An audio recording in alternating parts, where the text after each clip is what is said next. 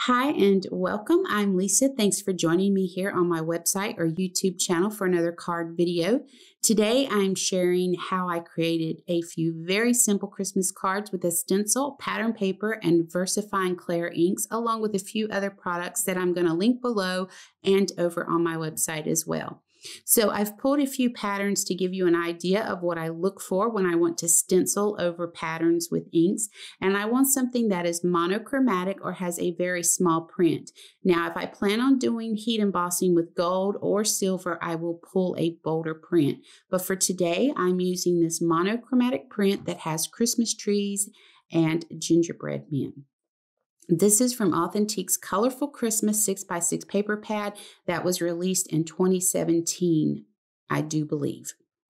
So now this is one of my favorite Christmas stencils right now. It's Poinsettia by Honeybee Stamps. I love how some of the petals have that really fun design on them.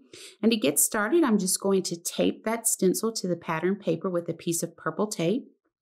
And then I'm going to grab my finger daubers and inks, and I'm using the VersaFine Clair inks in the colors Glamorous and Shady Lane.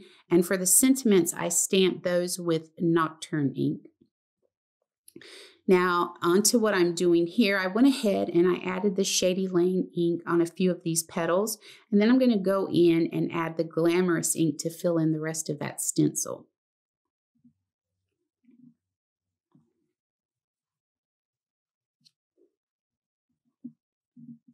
So now this is my favorite part where I get to do the reveal.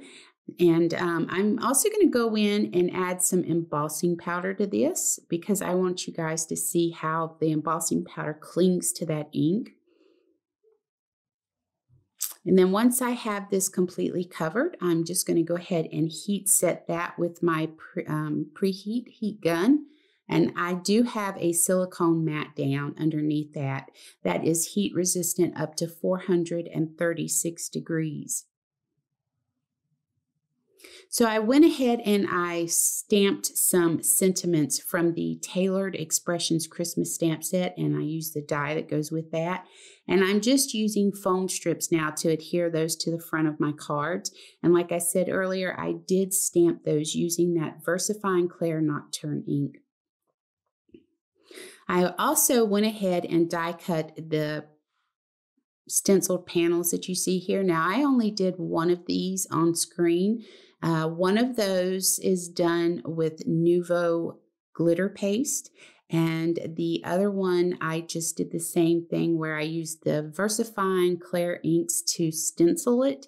And then I put some Wow Red Glitz embossing glitter over it and went ahead and heat set that. But they make really quick Christmas cards when you're in a hurry. And the foam strips are perfect for these sentiment strips. They work great. I'm just going to go ahead and line those up really quick with my T ruler.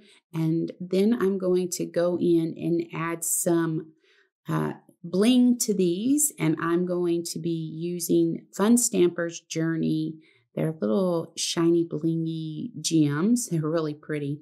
And now my card bases are four and a quarter by five and a half inches if anyone's curious. But you can see there how pretty these turned out and how the pattern paper, you know, really does add a little interest to the card. So I really like to do this. Now, this is a great way, again, to use up some of those pattern papers from previous years.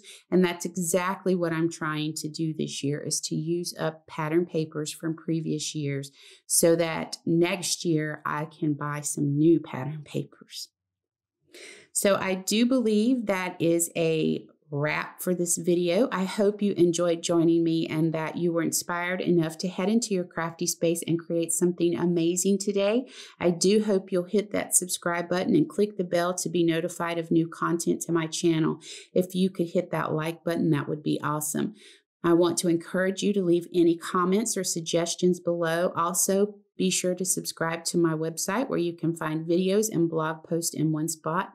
As always, please know how much I appreciate you taking the time to watch this video. And until next time, my crafty friends, keep crafting.